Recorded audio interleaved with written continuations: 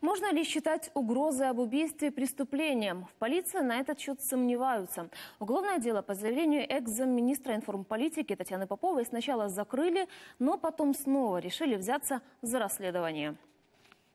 Если вам и вашей семье постоянно пишут, что убьют, не волнуйтесь, состава преступления в подобных письмах нет. Именно так ответила полиция бывшему замминистра информполитики Татьяне Поповой на ее заявление об угрозах, которые начали поступать после того, как она выступила в защиту журналистов, чьи персональные данные опубликовал сайт «Миротворец». Хтось з журналістів шуткував, що ну не вбили, в принципі, злочину немає, тому вирішили закрити. Але проблема ще в тому, що продовжують надходити погрози. Ну, ви ж бачили ситуацію з нардепом, якого погрожував вбити, їх посадили навіть. На жаль, поки що в нас в країні здається, є люди є рівні, а є більш рівніші. І ну, можливо, це якось зміниться. Ніхто ж не буває довічно міністром. А вот в Дарницком райуправлении полиции Киева нам сообщили, закрыли дело преждевременно, так как сообщения Поповой были недостаточно угрожающими. Но прокуратура дело возобновила.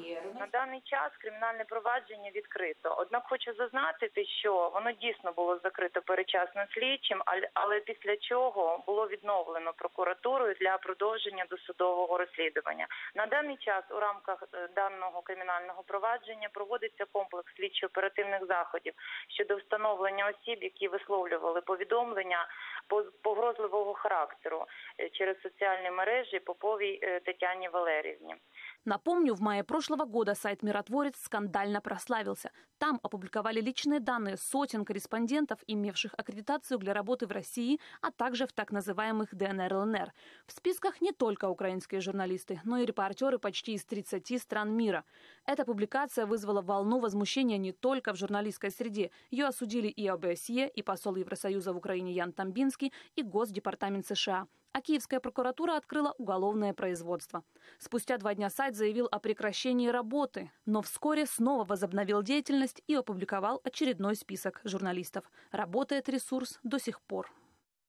Знаєте, він продовжує працювати, тому що частина людей у владі, е, людей, які е, впливають на цей сайт, чи людей, які пов'язують з цим сайтом, чи, е, наприклад, Антона Геращенко, Народний фронт, вважають, що цей сайт є ефективним інструментом приборкання журналістів.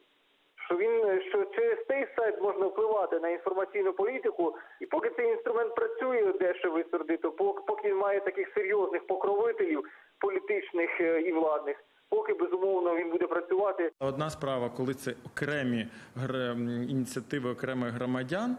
А, інша справа, коли е, ворожнечу підтримують ті ем, посадовці, які навпаки повинні докладати зусилля для розслідувань, для зменшення ворожнечі. А ми сьогодні говоримо, що у нас керівництво Міністерства внутрішніх справ е, підтверджує свою причетність і е, не заперечує в тому, що вони є прихильниками тих методів, які ось ці е, са- такі сайти, як миротворець, сповідують. Что же делать тем, чьи имена в открытых списках и кто до сих пор получает десятки писем с угрозами? В Союзе журналистов советуют ни в коем случае не спускать это на тормозах, чтобы все эти угрозы не превращались в состав преступления. Ольга Теребинская, Алексей Шматов. Подробности. Телеканал Интер.